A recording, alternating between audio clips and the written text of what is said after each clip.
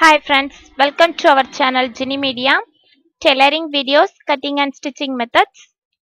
இப்போ நம்ம பார்க்குறது பிளவுஸோட பேக் நெக் எப்படி மாடலாக ஸ்டிச் பண்ணுறது அப்படின்னு இப்போ இந்த வீடியோவில் பார்க்க போகிறோம் என்னோட சேனலை சப்ஸ்கிரைப் பண்ணாதவங்கெல்லாம் கீழே இருக்கக்கூடிய ரெட் கலர் பாக்ஸ் சப்ஸ்கிரைப்ங்கிற பட்டனை கிளிக் பண்ணுங்க. அப்போ தான் என்னோட வீடியோஸ் எல்லாமே உங்களுக்கு ஈஸியாக நோட்டிஃபிகேஷன்ஸில் வரும். பக்கத்தில் இருக்க பெல் சிம்பிளையும் கிளிக் பண்ணால் உங்களுக்கு என்னோட வீடியோஸ் எல்லாமே ரொம்பவே சிம்பிளாக ஈஸியாக அண்டர்ஸ்டாண்டிங் பண்ணுற மாதிரி இருக்கும். ஸோ அதனால நீங்கள் கீழே இருக்கக்கூடிய சப்ஸ்கிரைப் பட்டனை கிளிக் பண்ணிட்டா உங்களுக்கு ரொம்பவே ஈஸியாக இருக்கும். இப்போ நம்ம ஃபர்ஸ்ட் சார்ட் பேப்பர் எடுத்துருக்குறோம். இந்த சார்ட் பேப்பர் ஹைட்டும் விட்டும் அவங்கவுங்க பிளவுஸ் மெஷர்மெண்ட்டுக்கு ஏற்ற மாதிரி சார்ட் பேப்பர் நம்ம கட் பண்ணி ஃபர்ஸ்ட் எடுத்துக்கலாம்.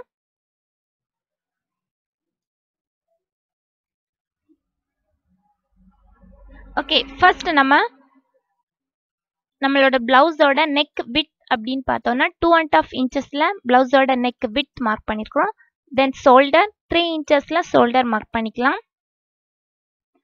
ஃபஸ்ட்டு நெக்கோட வித்து தென் ஷோல்டர் அதுக்கப்புறமா கீழே ஆம்கோல் அதாவது கைக்குழி அளவு.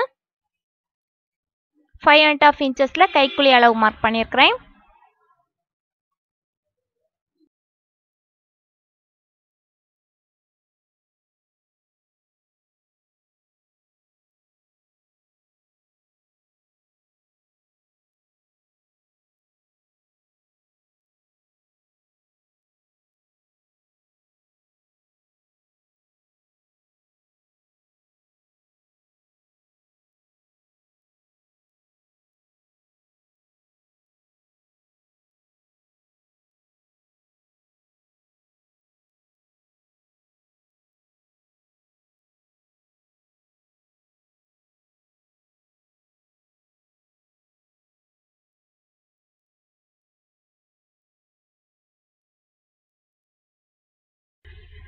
ஓகே ஸ்கெச் பென் வச்சு கிளியராக மார்க் பண்ணியிருக்கிறேன் ஃபர்ஸ்ட் நம்ம பேசிக்காக நம்ம பென்சிலில் மார்க் பண்ணிவிட்டு தென் அதுக்கப்புறமா ஸ்கெச் பெனில் மார்க் பண்ணால் நமக்கு கிளியராக வியூ பண்ணுறதுக்கு கிளியராக இருக்கும்.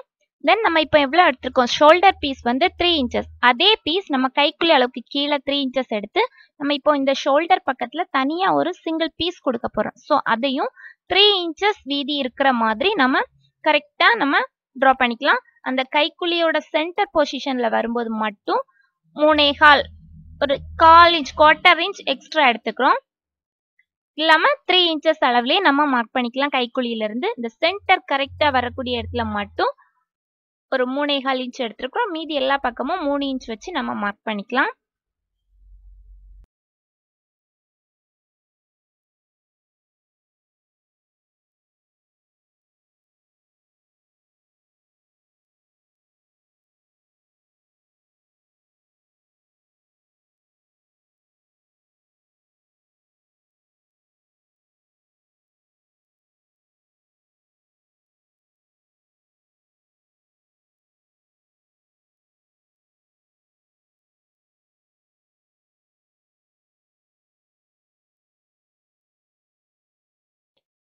இது எப்படின்னா நம்ம தனியாக ஷோல்டர் பீஸ் தனியாக கொடுக்கறது. ஸோ அதனால மூணு இன்ச் வச்சு நம்ம மார்க் பண்ணியிருக்கிறோம் தென் அதுக்கப்புறமா நம்மளோட நெக்கோட ஹைட் எவ்வளோ அப்படின்னு பார்த்தோம்னா நமக்கு மினிமம் எயிட் இன்ச்சஸ் போதுமானதாக இருக்கும்.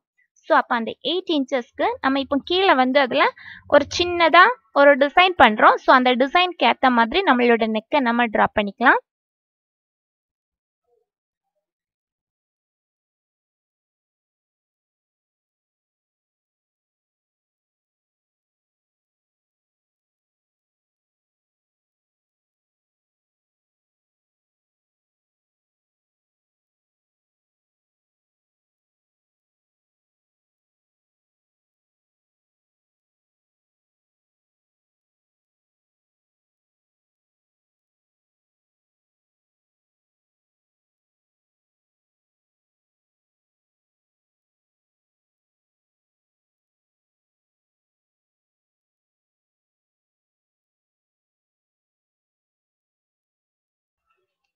ஓகே நம்மளோட பீசஸை தனித்தனியாக கட் பண்ணி எடுத்துக்கலாம்.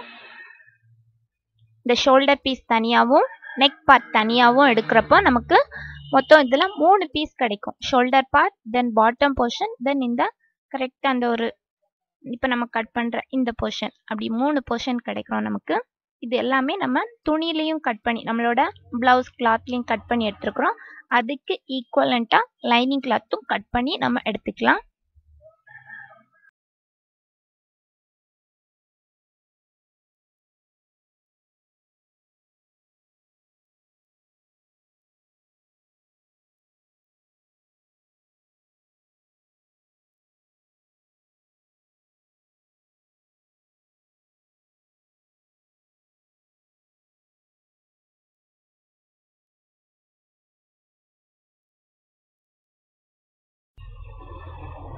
ஓகே இப்போ நம்ம என்ன பண்ண போறோம்னா நம்மளோட ஷோல்டர் பார்ட் கட் பண்ண போகிறோம் ஷோல்டர் பார்ட்டை நம்மளோட கிளாத்தை டபுளாக ஃபோல்ட் பண்ணிவிட்டு நம்மளோட ஷோல்டர் கிளாத்தை ஷோல்டர் பீஸ் நம்ம பேப்பரில் கட் பண்ண சார்ட் பேப்பரில் கட் பண்ணது அப்படியே ஒரு பீஸ் எடுத்து வச்சா போதும். ஏன்னா நம்ம துணியை ரெண்டாக ஃபோல்ட் பண்ணியிருக்கோம் ஸோ அதனால நமக்கு ரெண்டு பீஸ் கிடைக்கும்.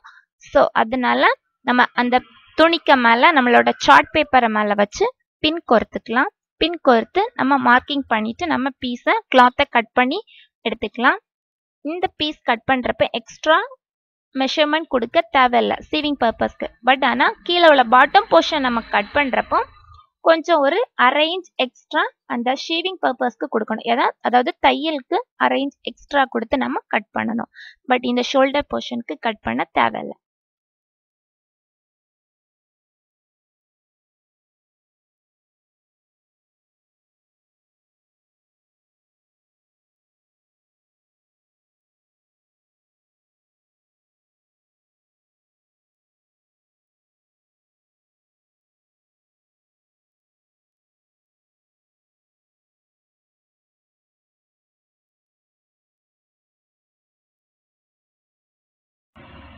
ஓகே இதுக்கப்புறமா கீழே உள்ள பாட்டம் போர்ஷன் இப்போ நம்ம கட் பண்ண போகிறோம் அந்த ஃபேப்ரிக் எடுத்து டபுளாக ஃபோல்ட் பண்ணி போட்டதுக்கு அப்புறமா அதுக்கு மேலே நம்மளோட பாட்டம் போர்ஷனில் கட் பண்ண சார்ட் பேப்பரை எடுத்து வச்சு அதில் நம்ம பின் பண்ணிக்கலாம். நம்மளோட துணியும் நம்மளோட சார்ட் பேப்பரும் அட்டாச் பண்ணுற மாதிரி வச்சுட்டு பின் பண்ணுறோம் இதில் தான் நம்ம எக்ஸ்ட்ரா சீவிங் பர்பஸ்க்கு ஒரு அரேஞ்ச் இடைவெளி எக்ஸ்ட்ரா கொடுத்து நம்ம கட் பண்ணுறோம்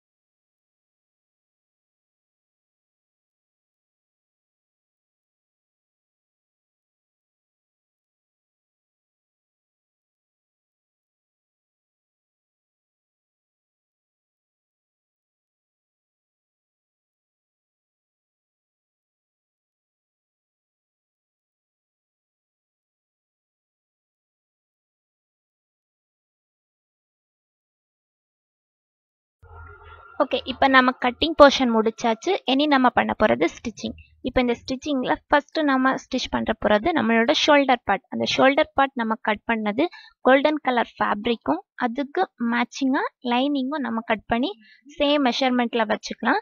அதை என்ன பண்ண போகிறோன்னா ரெண்டும் சேமாக அதாவது ஒரு கிளாத்துக்கு மேலே இன்னொரு கிளாத் வச்சு அப்படியே நம்மளோட ஷோல்டர் அதாவது நெக் பார்ட் அந்த கைக்குழி பார்ட் ஜாயின் பண்ண தேவையில்ல ஃபஸ்ட்டு அந்த நெக் பார்ட்டை நம்ம ஃபஸ்ட்டு ஜாயின் பண்ணிக்கலாம். இதில் வந்து நம்ம பைப்பிங் கொடுக்க போகிறோம் ஸோ அதனால நம்ம திருப்பி எடுக்க தேவையில்ல. பைப்பிங் கொடுக்கறதுனால அந்த பைப்பிங் கிளாத்தை one and half inches cloth cut பண்ணி எடுத்துட்டு அதை ஒரு சைடு ஓரத்தை அப்படியே மடக்கி ஸ்டிச் பண்ணிக்கலாம். அப்போ நமக்கு பைப்பிங் கொடுக்கறதுக்கு ஈஸியாக இருக்கும். இதை ஸ்டிச் பண்ணதுக்கப்புறமா இதை துணி அப்படியே தூக்கி நம்மளோட ப்ளவுஸ் கிளாத்தில் நம்மளோட golden colour original lining cloth மேலே இல்லை நம்மளோட ப்ளவுஸ் கிளாத்துக்கு மேலே வச்சு அப்படியே ஓரத்தில் வச்சு நம்ம ஃபர்ஸ்ட் ஸ்டிச்சிங் போட்டு அந்த நெக் பார்ட் அந்த நெக் போர்ஷன் வரக்கூடிய இடத்துல வச்சு நம்ம ஸ்டிச்சிங் போடுறோம். ஸ்டிச்சிங் போட்டுட்டு அப்படியே அதை உள்பக்கமாக திருப்பி கொடுத்து நம்மளோட டிசைன் பேட்டர்னை நம்ம நெக் பார்ட்டை நம்ம ரெடி பண்ணுறோம்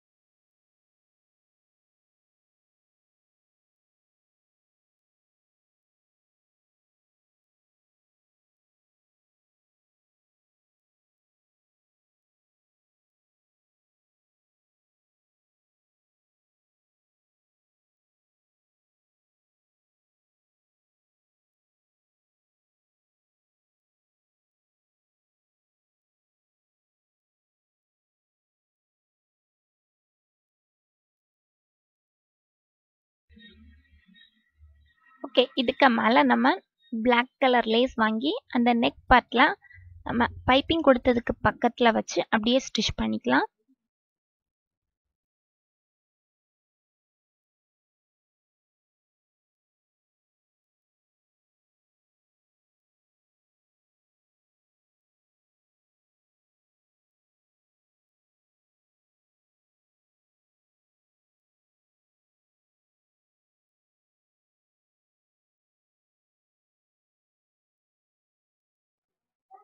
ஓகே இதே மாதிரி நம்மளோட shoulder part left side right side ரெண்டு போர்ஷனும் நம்ம ரெடி பண்ணிக்கிறோம். நம்ம இந்த ரெண்டு போர்ஷனும் ரெடி பண்ணதுக்கு அப்புறமா நம்ம ரெடி பண்ண போகிறது நம்மளோட பாட்டம் போர்ஷன் பாட்டம் போர்ஷனையும் அந்த ஃபேப்ரிக்கை எடுத்துட்டு இதே மாதிரி லைனிங் கிளாத் கொடுத்து அதில் வச்சு நம்ம அட்டாச் பண்ணுறோம் ஃபஸ்ட்டு அந்த லைனிங்கையும் நம்மளோட ப்ளவுஸோட அதாவது உள்பக்கத்தை மேலே வச்சு லைனிங் கிளாத் மேலே உள்பக்கத்தை ப்ளவுஸோட அதாவது நம்மளோட ஃபேப்ரிக்கோட உள்பக்கம்னு சொல்கிறது மேல் பக்கம் இருக்கிற மாதிரி வச்சு நம்ம லைனிங் கிளாத் கூட அட்டாச் பண்ணிவிட்டு இதை அப்படியே திருப்பி எடுக்கிறோம்.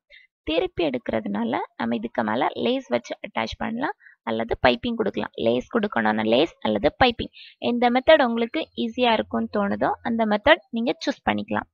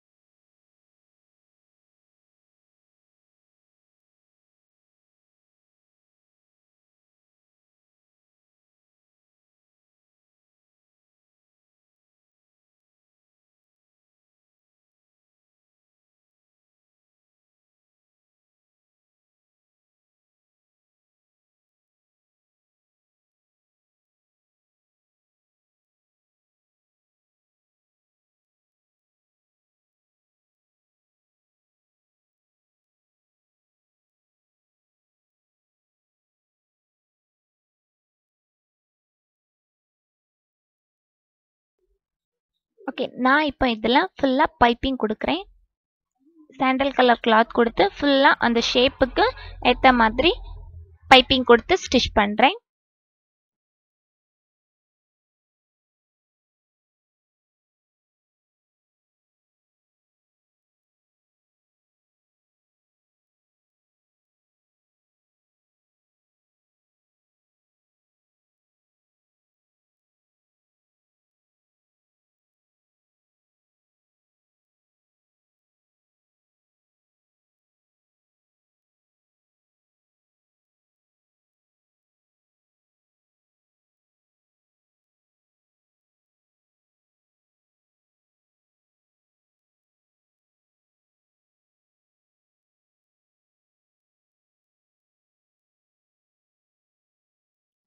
ஓகே இப்போ நம்ம பாட்டம் போர்ஷன் ரெடி பண்ணியாச்சு. இனி இந்த இன்பிட்வீனில் இருக்கக்கூடிய இந்த கேப்பை ஃபில் பண்ணுறதுக்கு சாண்டல் கலர் கிளாத் எடுத்து அதை லைனிங் கூட வச்சு அப்படியே சேர்த்து ஸ்டிச் பண்ணி அதை அப்படியே திருப்பி எடுத்து அந்த கேப்பில் வச்சு நம்ம ஸ்டிச் பண்ணுறோம் அந்த கேப்பை ஃபில் பண்ணுறதுக்கு தான் ஒரு ட்ரையாங்கிள் ஷேப் மாடலில் இருக்கிற அந்த கேப்பை ஃபில் பண்ணுறதுக்கு நம்ம எக்ஸ்ட்ரா இந்த சாண்டல் கலர் கிளாத் கொடுத்து அதுக்குள்ளே வச்சு நம்ம ஸ்டிச் பண்ணுறோம் ஓகே அப்போ நம்ம பாட்டம் போர்ஷன் இப்போ நம்ம ரெடி பண்ணியாச்சு. தென் பாட்டம் போர்ஷன் ரெடி பண்ணதுக்கப்புறமா மூணு piece map bottom portion over then left side right side ரெண்டு ஷோல்டர் பார்ட்டும் நம்ம ரெடி பண்ணியாச்சு. எல்லாத்தையும் சேர்த்து வச்சு நம்ம சீவிங் பர்பஸ்க்கு ஒரு ஹாஃப் இன்ச் தான் நம்ம கொடுத்துருந்தோம். அந்த ஹாஃப் இன்ச் வச்சு நம்ம ஜாயின் பண்ணலாம். ஓகே ஃபர்ஸ்ட் இந்த பாட்டம் பொசிஷனை கம்ப்ளீட் பண்ணுறோம்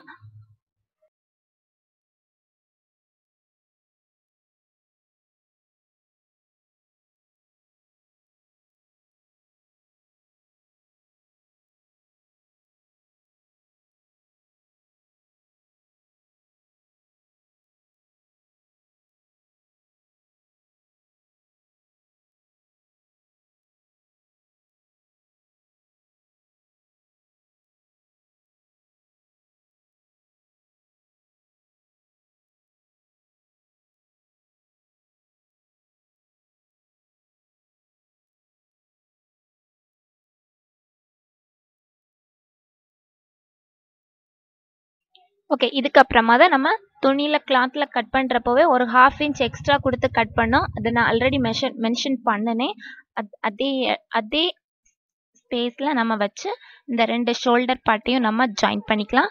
ஓகே இந்த நம்ம ஜாயின் பண்ணதுக்கப்புறமா நம்மளோட blouse cutting and stitching over ஆயிரும். இந்த வீடியோ உங்களுக்கு பிடிச்சிருந்துச்சுன்னா கீழே இருக்கக்கூடிய தம் பட்டனை கிளிக் பண்ணி என்னோட வீடியோவை லைக் பண்ணுங்கள் அதே மாதிரி இதை மாதிரி பல வீடியோஸ் நீங்கள் பார்க்கணும்னு நினச்சா சப்ஸ்கிரைப் பட்டனை கிளிக் பண்ணுங்கள் Thank you for watching my videos.